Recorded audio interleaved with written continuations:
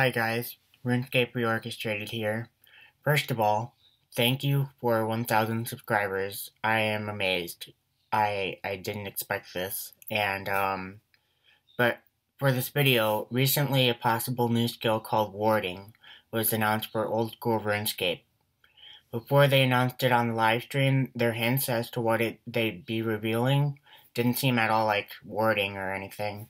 I was really thinking about dungeoneering. I was like, yeah. And that's what this video will be about. Delving into the dungeons of 2010 RuneScape music in an older sound system, which is 2007.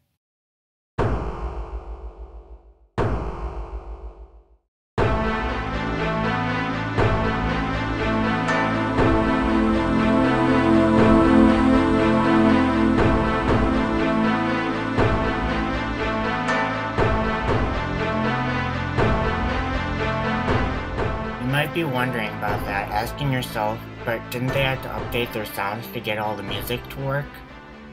Well, that could be true that they were updating sounds. Ian Taylor mentioned in an interview they had um, a compression thing that they figured out to get the new samples in and get the music to sound a bit better. Um, but they still had a lot to work with with the 2007 sound engine. For example, the songs Hope de Boer and Lexicus Runewright use two different custom controllers in their MIDI file. For Hope de Boer, former Mob Bond said it was a retrigger effect that takes the instru instrument sample and plays it over and over again. The rate at which it does so depends on what number you give the controller, which ranges from 0 to 127. Well, guess what? Even I was surprised that old school RuneScape has these effects built into their sound bank, which I found out when I imported a modified version of the Hope de Boer MIDI file into a private old school client.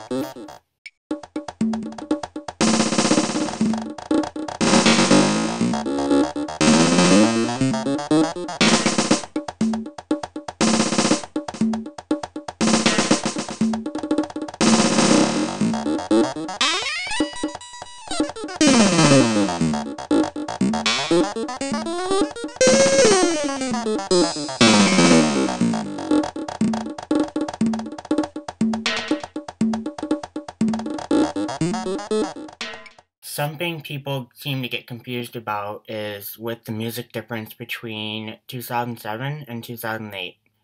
And the most notable difference is that the instruments were enhanced. A big change was in the choir instruments where they went from sounding like to a synth, going like and it was like to a realistic ah sound.